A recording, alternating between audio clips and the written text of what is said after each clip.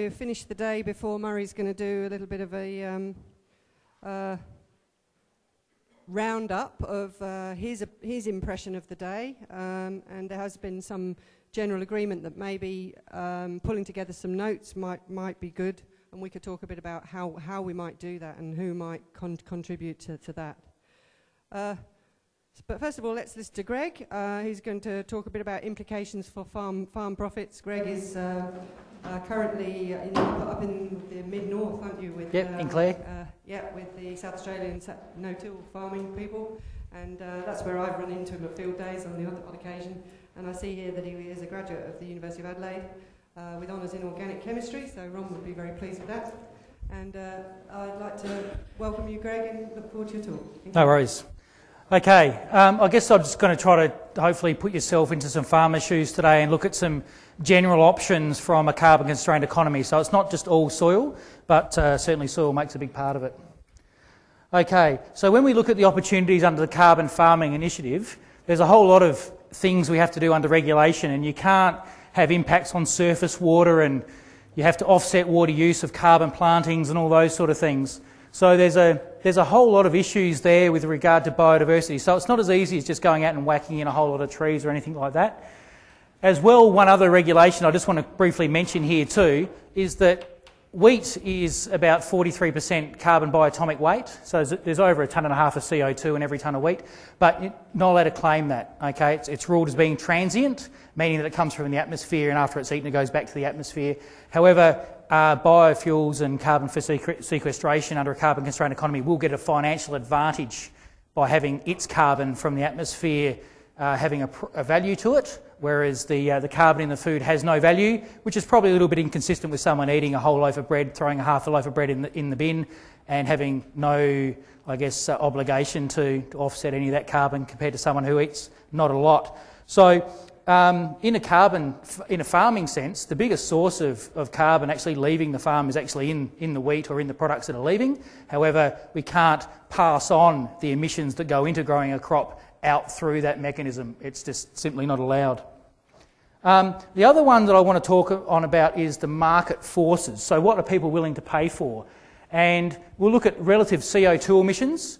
So different gases, and say for example methane, nitrous oxide and carbon dioxide have different warming potentials in the atmosphere. So they have what's called a different CO2 equivalent. You may have heard that methane is about 21 times more powerful than carbon dioxide and nitrous oxide is about 300 times more powerful. Another issue I'm just going to touch on as well is avoided emissions versus carbon sequestration. And there's a, there's a big difference there because sequestration, you've basically got to keep the carbon for 100 years, and a lot of landowners don't want to enter into 100 year contracts, whereas when you avoid emissions, is basically you're pocketing the, uh, the difference straight away and there's really no ongoing liability. The market, so there's Australian carbon credit units and Kyoto units. Even though Australian carbon credit units are going to be supported by the Australian government for the next three years, at some stage that support will stop and then the market demand for those products will spread. So we would expect that Australian carbon credit units will be worth about one tenth of what a Kyoto unit would be worth. And the underlying reason for that is that companies under the carbon tax that have to offset their Kyoto obligations can only do that using Kyoto certified emissions reductions or sequestration. They can't use soil carbon to do that, not in, at the moment. Okay? Soil carbon, be it in the form of biochar or soil organic carbon, is an Australian carbon credit unit. And so if you look at, say, a Kyoto price of, say, $25 a tonne, expect once the government support washes out in a couple of years for soil carbon maybe to worth, be worth $2.50 a tonne.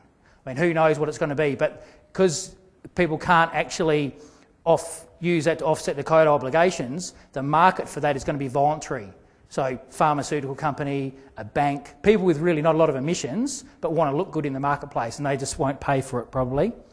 And also, the other one is the underlying demand relative to cash. And if you sell your carbon, an interesting question we're working through at the moment is carbon going to inflate in price and value at the same rate as cash is? We've got a lot of um, economic turmoil. People are printing money in the world at the moment, and with a fixed natural resource base, if you increase the amount of cash, you get inflation. And so we'd expect a fair bit of inflationary pressure over the next few years, decades. however long we keep running with this monetary system? And is carbon going to inflate at the same rate? And that's a pretty important decision for a landholder when you're making an investment. Is it actually going to keep up with money?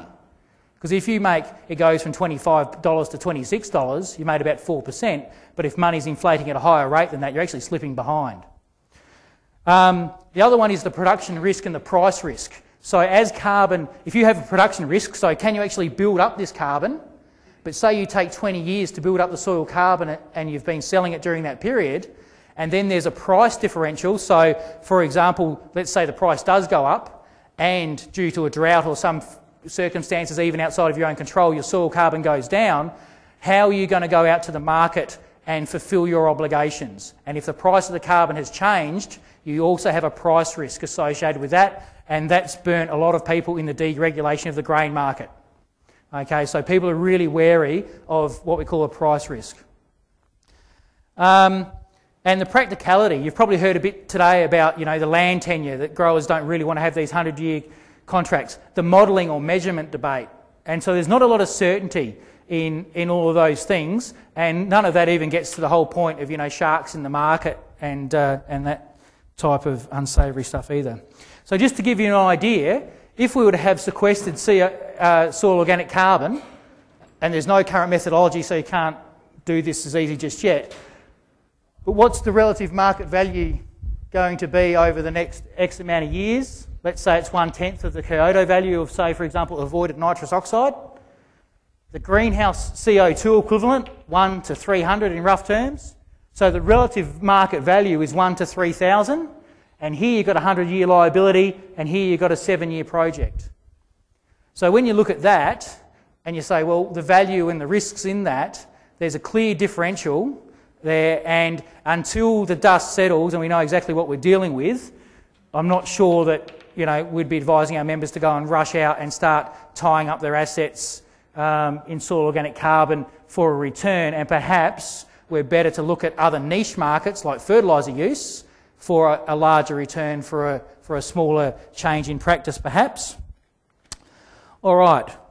So there is something that's really easy for us, which is the conservation tillage refund tax offset. So instead of having to deal in all the measurement and verification, this is simply from a period in time, it's over three financial years. If a farmer goes out and buys an eligible machine to do less soil disturbance, they get to write an extra 15% off the depreciation effectively. Okay, so there's no liabilities, there's no risk. They may be going to be buying the machine anyway, and so it's a really smooth transaction, if that makes sense. And that's why we think that's something that, as an organisation, we want to try to help facilitate. Okay, the other one I mentioned about was energy, and if you look at um, the sustainability of food energy, Hunter gatherers used to actually put out about one joule of energy to collect 10, so getting up and going picking a berry off the bush or whatever, or netting a wild animal, which is a bit harder, but everyone got to have a feast. Compared to post industrial, by the time you add up the amount of energy that goes into mining the fertiliser or making the fertiliser through the Haber process, which is very energy intensive, uh, just distribution of all of that, the actual machinery and the embodied energy that goes into making the farm machinery, the modern farm machinery, the fuel consumption, all of that sort of stuff the processing of that wheat into flour, into bread, and the sale of that, you're looking at about one joule of food energy for about 10 joules of fossil fuel. And I guess that's sort of just a washout of the age of, of cheap fuel. Um, but the World Energy Outlook is pretty much pretty clear that the, uh, the age of cheap fuel is over, and we need to look at energy efficiencies, renewable fuels, and all that sort of thing. And once again, comparing that to soil carbon, producing renewable energy is a very simple transaction. You either have it or you don't, and if you're selling it, it's either being metered through an electric meter or being sold in litres through a diesel tanker or something like that. So at the moment, um, renewable fuels, like say for example diesels, biodiesel or renewable diesels that are made, uh, I'm not a big fan of first first generation biofuels at all. Uh, there is some circumstances where they're okay, but second generation biofuels are very interesting, I think. And where people can now basically sell those fuels and get the whole 38 cents tax rebate, uh, the excise back as well makes that pretty attractive. So when we look at energy efficiency, and uh, just before I go on, I'm about to just cover a few technologies pretty quickly, and I guess that's a reflection of both the Stern Review and the Garnaut Review, which said that there's no one silver bullet. So I'm not going to stand up here and talk in depth about one big thing, because there is no one big thing. It's about incrementals of lots of different things adding to a better, bigger picture. So on farm efficiency, GPS, those people don't know about it, but basically a, a tractor these days can be driven to about 10 centimetre accuracy, 2 centimetre accuracy auto steered, so the driver, he's just sitting there listening to some music or whatever and turning some corners. But it, it's, it has given us energy efficiency. Um, UniSA was working uh, a while ago on this project, and this was modelled out on a, um, a 3,000 hectare cereal farm on the, on the Yorke Peninsula. And uh, you can see basically, if you can imagine that when your header fills up, you need to empty it. Okay, so it's full of grain, you need to empty it. If you're going along and yielding a two tonne crop, it's going to fill up at a different time than if you're getting a three tonne crop.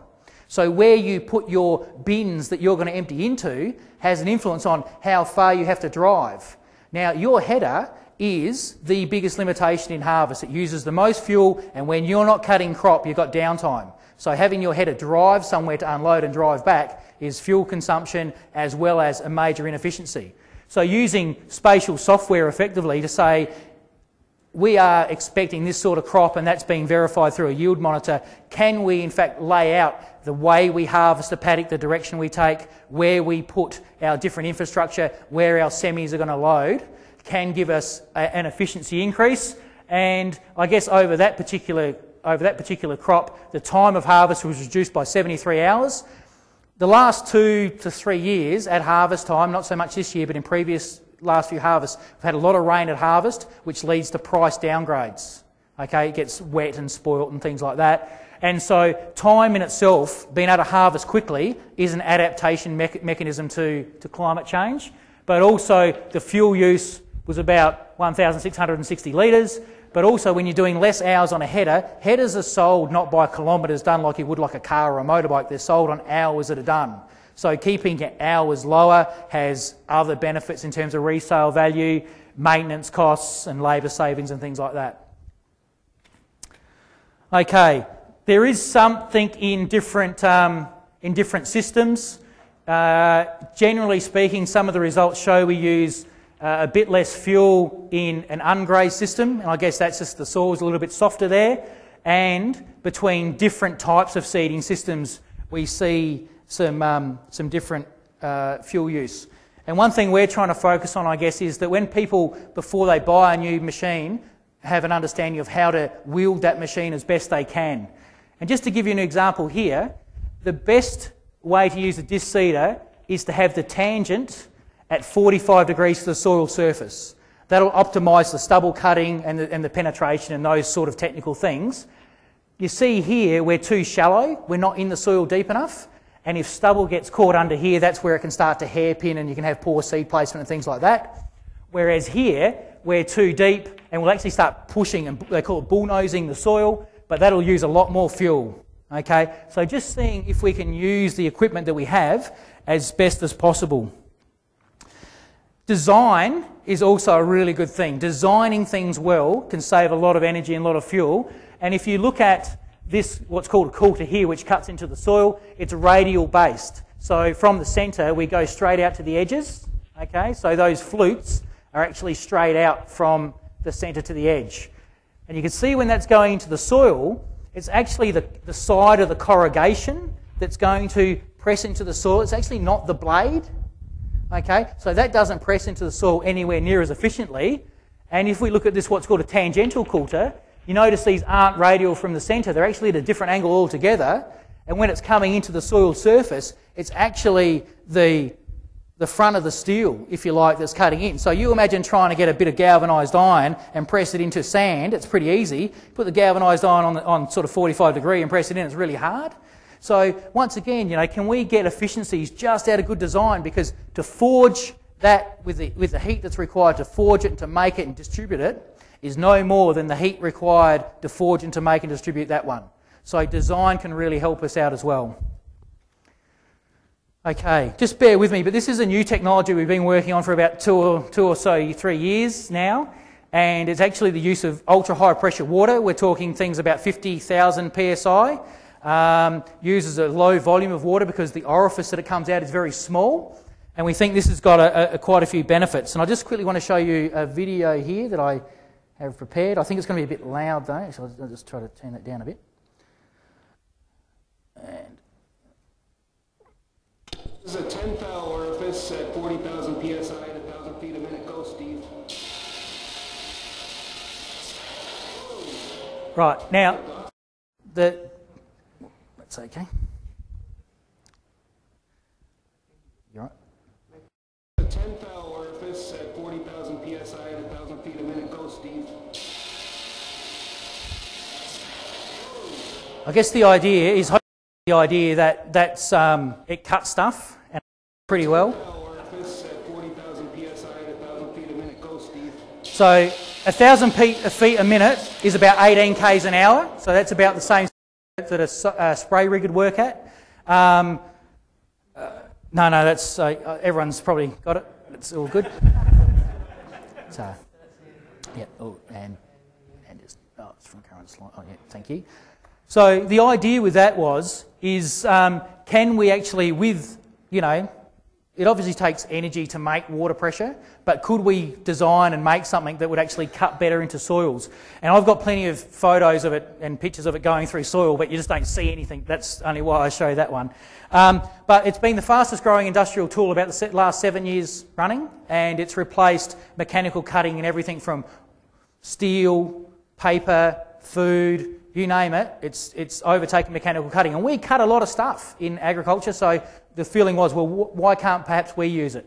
And the, the first idea, you can see there, maybe that looks like the front of a, you know, that's actually for cutting paper, but the point is you've got multiple heads going along, and could we make something like a coulter instead of using a metal blade? Could we actually inject liquid fertiliser as the cutting medium? So not use water, use a liquid fertiliser as the cutting medium, clear the stubble, get a furrow, and also, in high in crops that have high fertiliser demand but are small seeds like canola, you can get desiccation at times. So there's, you know, particularly if it gets a bit wet and then dries out, is that the granule is, can start to desiccate it, whereas we sort of have a feeling that by having a big spread of the fertiliser, we're less likely to see desiccation.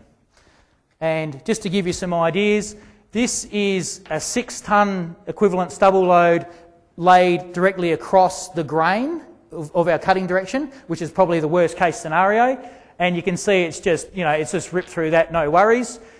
In clay soils, we often with disc seedings get what they call smearing, which you imagine a clay and, and smearing it, it gets really, you know, shiny and smooth. And that can have a whole lot of issues with seed establishment and water and things like that. As you notice there, you might be able to see there's like a slight rake angle cut through there but there's no smearing or anything like that. So we really like that. And as you can see, it cuts through the soil, no dramas. That's the sort of, um, that's, to me, that's actually the, the fertiliser being injected. But to me, it almost looks like a root system, doesn't it? You know, in terms of what the profile of that looks like. And here, we've got our cutting depth. So that's where our nozzle was, down to here, through the stubble to the soil surface, and then into the soil. And penetrating into the soil a couple of inches really isn't that big a deal. Moving at you know 15, 18 kilometres an hour, and the hope is is that we, we think we can do that within water rates of 80 litres per hectare to about 220 litres per hectare, which is within the range of what people would use spraying now, maybe fraction higher at the 220. But horsepower is, looks okay. But the other big benefit we're trying to look for in terms of carbon and all the rest of it, emissions and, and energy, is embodied energy. Is the only reason people are running dual tyres and triple tyres is because they're dragging all this crap through the ground. So, what if we're not dragging anything and everything's out of the ground? Can we use single tyres and save embodied energy? Do we need 8 mil steel frames all welded together, or can we use a much lighter material? And so, so it's not necessarily about the energy use in actual operation, but trying to save embodied energy. And if we move to singles, does things like soil compaction and organic carbon, you know, what's the flow on effect of that? So, yeah. The other, the other thing about it is potentially using it in crop to deliver nitrogen. This is a small trial. This is actually a mechanical slasher that we're guiding with what's called an EcoDan. It's basically an infrared sensor that that uh, determines where the crop row is, locks onto it so you can put something down the interrow without slashing all the plants. So this is a six inch interrow Okay, so that's actually a pretty tight spacing. This guy's an organic farmer, so he doesn't really have a lot of herbicide options, so he's quite keen as a cooperator.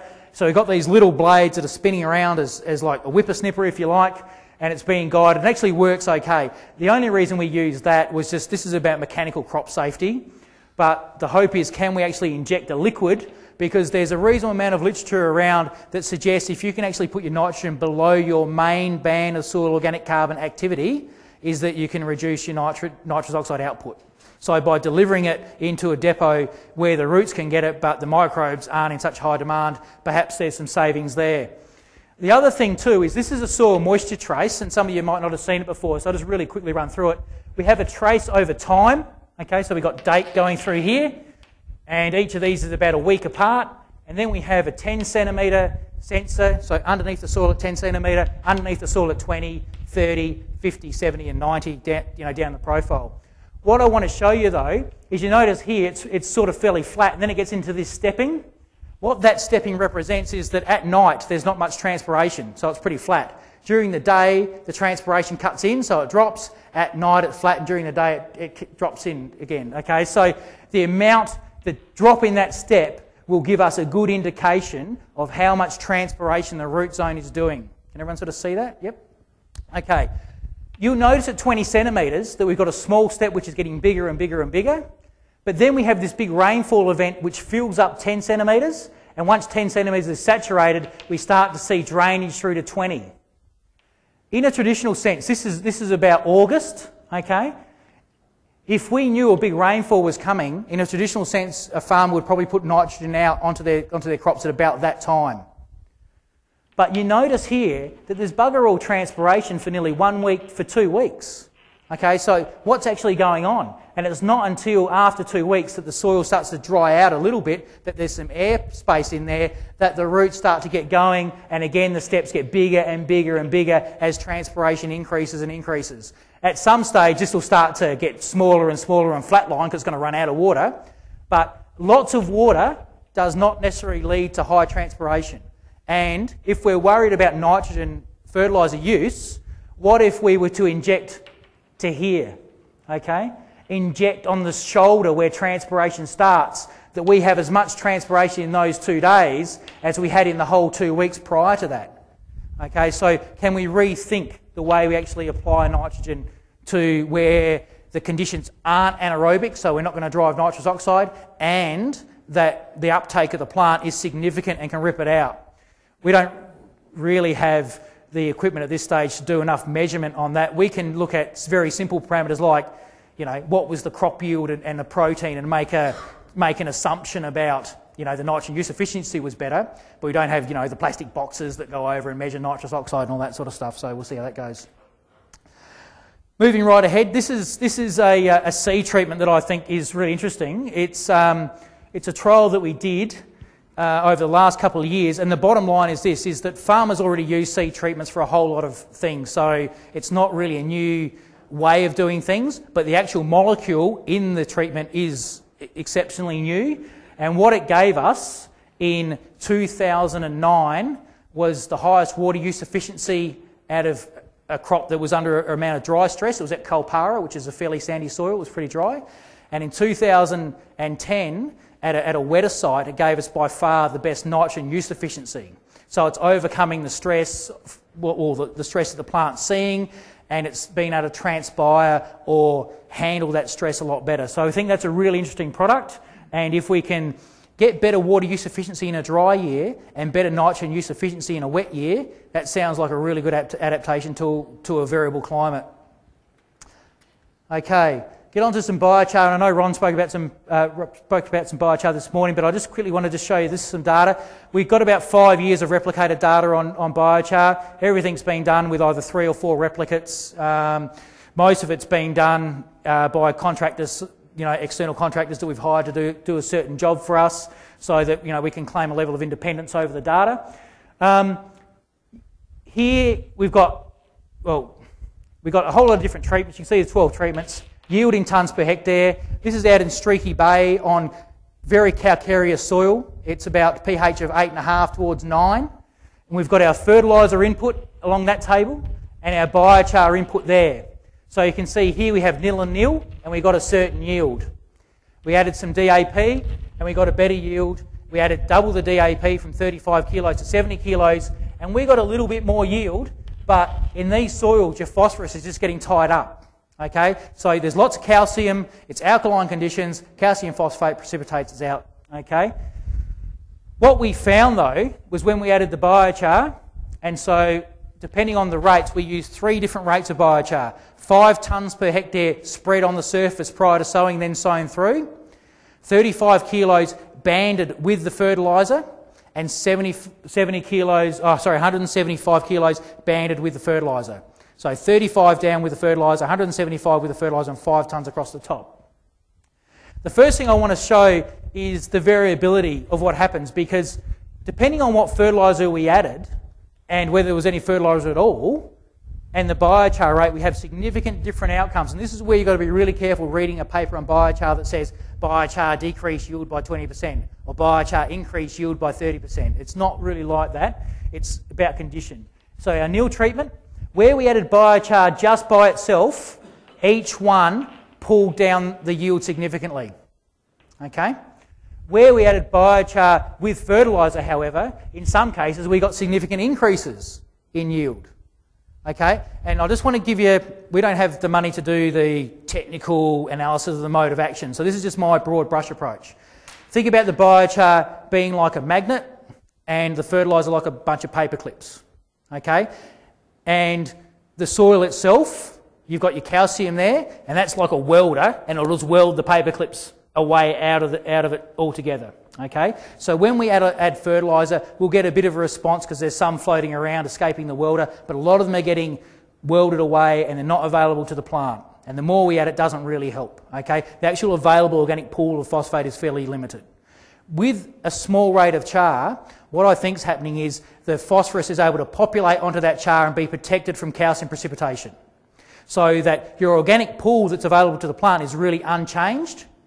Okay, so you have available phosphorus there, but then at some stage later on, there's some phosphorus that can actually be combed and pulled off, like a paper coming off the magnet, by the root systems later on.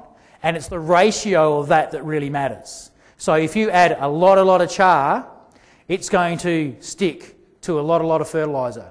Okay, so when we have you know really high rates, so five tonnes of biochar here with only 35 kilos of DAP, we didn't really get much response from just 35 kilos of DAP by itself.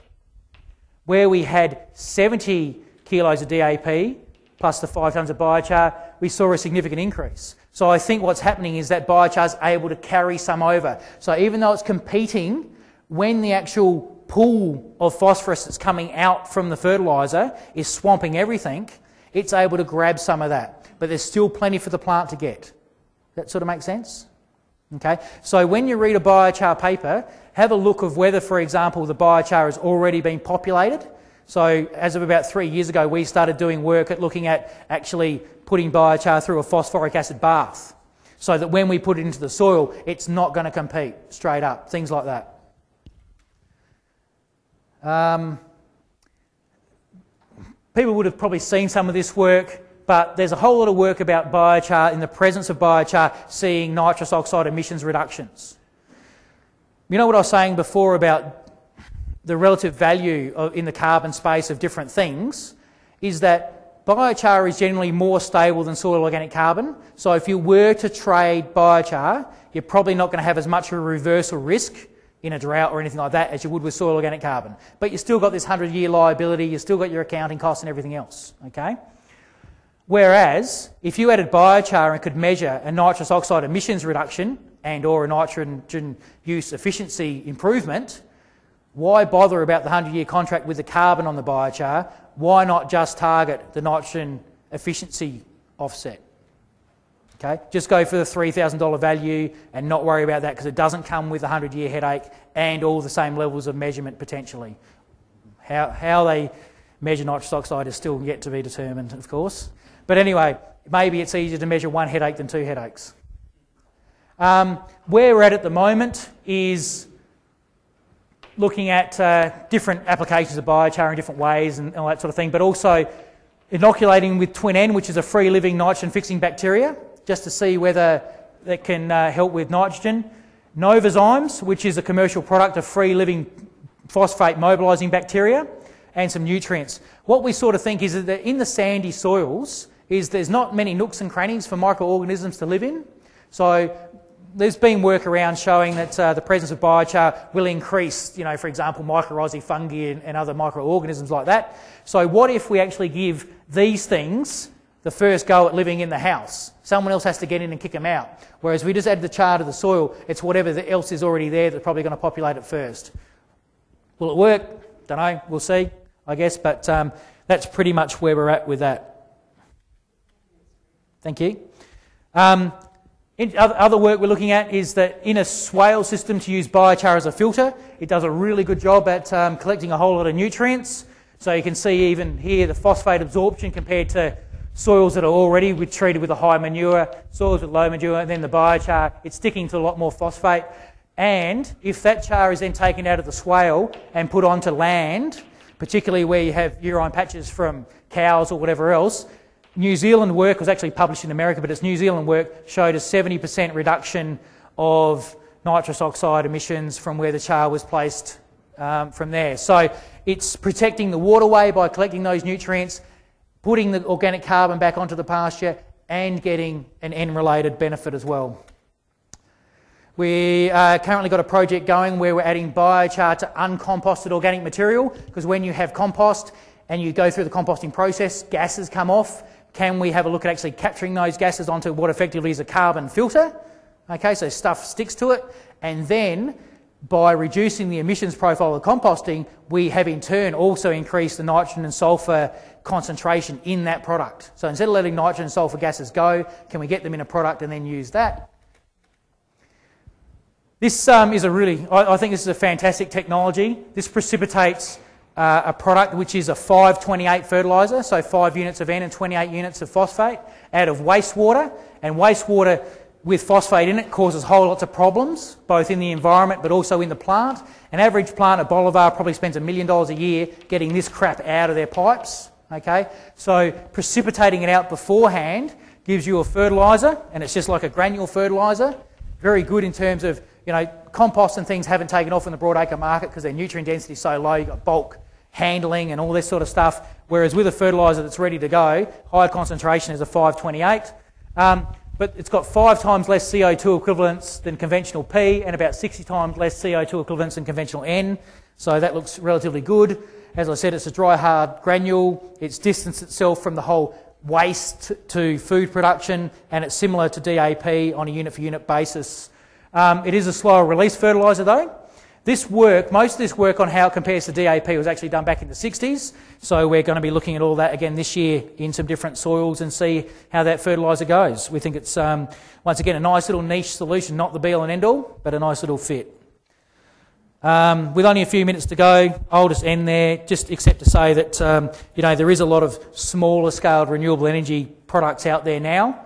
Um, when you look at Western Australia with the Mallee Oil project, it falls over because they got such big inputs at the power station that the catchment area for biomass just gets too large and it gets killed by freight. But when you can do something on a farm scale, it just changes those dynamics altogether. So, um, and once again, the, the simplicity of selling renewable energy is just so much easier than selling carbon. So, anyway, hopefully that's all right.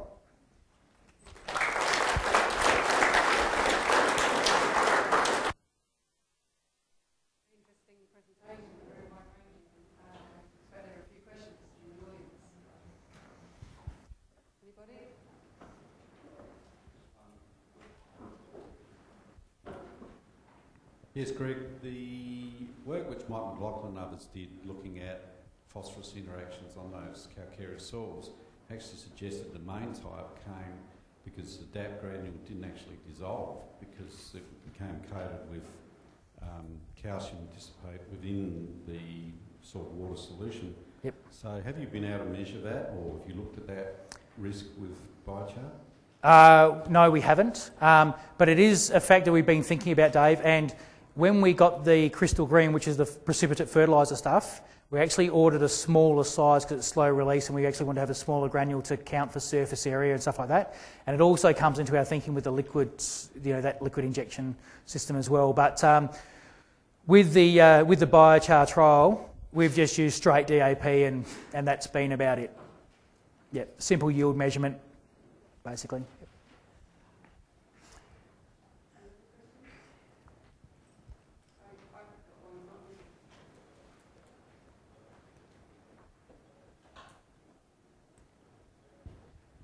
We're using the, where you are using the biochar for basically gas collection, because I think that's what you're doing, isn't it?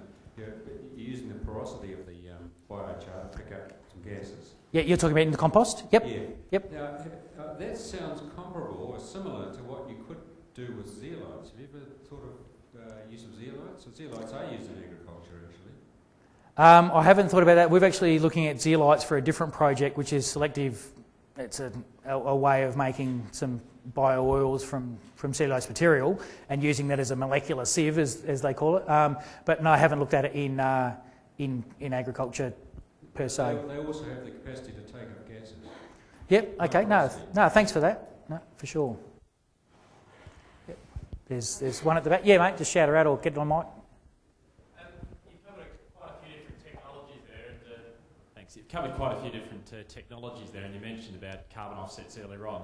Um, I suppose a similar question I asked earlier on the day. What do you think of the technologies that you've covered there? Will people get most excited about as of 1 July next year when a carbon price kicks in?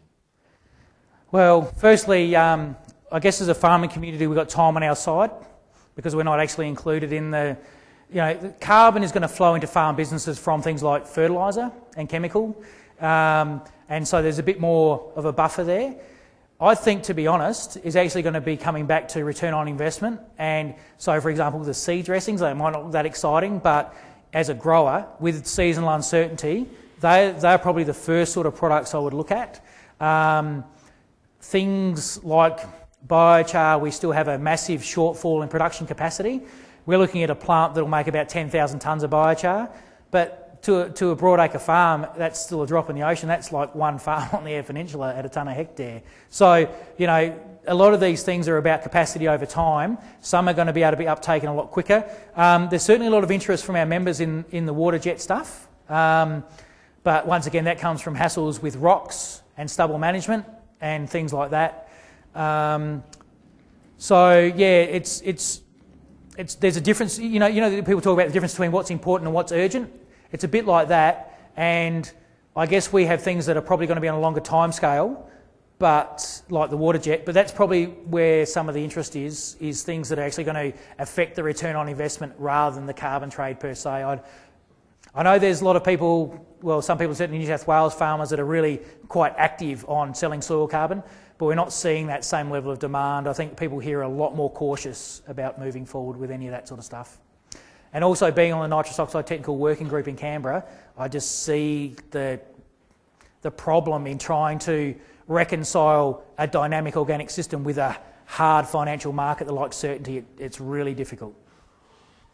We've got one more question here, and I think we should wrap up with the last item. Uh, just a quick one. Um, you talked about the biochar as really just being one entity, uh, and you talked about having very high effective cation exchange capacity to absorb the phosphorus. Yep. Are you talking about an aged biochar, or what quality of biochar are you referring to? Okay. Um, it's interesting because you know we're seeing a response there that we're guessing's got to do with something to do with that magnetic cation exchange capacity, but people when they get biochar often say that you know fresh biochars have low cation exchange capacity, but that char actually was made in in February, transported and applied in April. So it wasn't it wasn't that particular char was not pre-treated anyway with any acids or or fertilizers or whatever else, and it seemed to give us a an experience almost like claying a non-wetting sand, and and that would suggest cation exchange. But if you actually do a reading on the chars themselves, until they start to age and you get the you know carbonyls going to carboxylic acids and all that sort of stuff, you don't see that level of cation exchange. And so, to be honest, where I'm at with char is there is going to be differences in the feedstock that goes into char, the way it's made, and all that sort of stuff. However, I think it's actually going to be more based on the the process of how the char can be made. Like if there's a, a process that can roll out and say, for example, makes a type of renewable energy that is actually the underpinning of that business, and that makes a char that's 10% not as good as the best char some dude in a lab can make, that's going to be irrelevant because this is the commercial financial situation. And I guess I'm, I'm wary of different char qualities, but at the same time, the technologies that produce that char, I, I don't see a char factory in its own right. Uh, the only reason I would see char in its own right is probably not for ag, it's probably for a coking coal replacement under a carbon constrained economy because there's a lot of people who use a lot of coking coal and that's a big cost and everything else. And you can probably make char as cheap as coking coal plus you've got your carbon benefit. But in the farming sense, at the moment, the market's really dodgy, and I suspect that the market's going to be driven by how you make the char and less about whether it's 10% or 20% better, the underlying economics of the plant. That sort of answer the question in a roundabout way? Yeah. Thanks, Greg. I'd like everyone to thank Greg again. No worries. And just on char, I'd like to thank everyone at uh, Sora at Waite who's given us uh, a lot of technical support